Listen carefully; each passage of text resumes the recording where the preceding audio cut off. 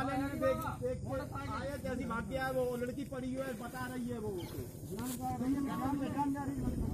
एक लड़की वहाँ पे उसको चाकू लगा हुआ है गर्दन पे और घायल पड़ी हुई है। पी आर पीआरबी तत्काल पहुँची, उसको पहले डिस्ट्रिक्ट हॉस्पिटल लाया गया। फ़र्स्ट एड के बाद उसको सैफई भेजा गया है, जहाँ पर उसकी हालत खतरे से बाहर बताई गई है। उसमें उसने लिख के कुछ बातें बताई थी और कुछ जो पहले पब्लिक के लोग पहुँच गए थे, उन्होंने उसकी वीडियो रिकॉर्डिंग भी की थी, जो कि आपको भी मिली होगी। और आप बताया है मजिस्ट्रेट के सामने भी बयान दिया है कि एक, उसी के गाँव का एक लड़का है। उसके साथ वो लखनऊ मंदिर गई और लौटते समय कुछ इनका विवाद हुआ है जिस पर उसने एक नुकीली चीज़ से उसके गर्दन पे वार किया है। सौभाग्य से उसकी गर्दन की कोई नस नहीं कटी है।